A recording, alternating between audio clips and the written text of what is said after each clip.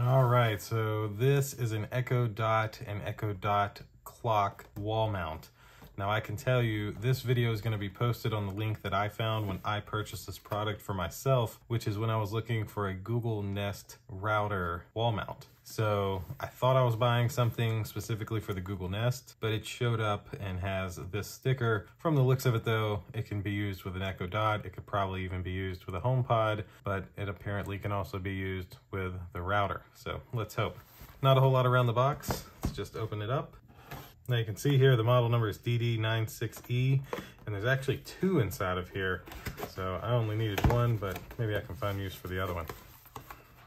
Little uh, life, little lifetime warranty card. Oh, and then look at that, they're all individually wrapped. That's pretty nice. So I'm gonna put this one back in and we'll close up the box.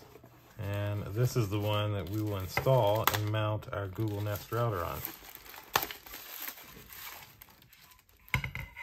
Can't forget the screws.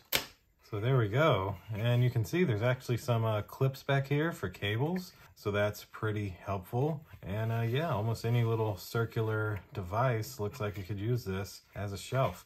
It even looks like you can run uh, cable around this to get rid of some of the excess cable. So that is really nice. Looks like it's pretty easy to mount, just a screw over here and a screw over here. And this thing should be on the wall. And then you just set your device on it and you're good to go. So uh, let's go put this in the wall and put our, our Google Nest router on this, on this mount and see what it looks like.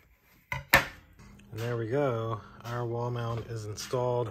We just put the two screws in, one on each side, and was able to set our Google Nest router right on top. Now, I was able to also run my cables through the back, so it's nice and neat, and uh, that's basically what it looks like.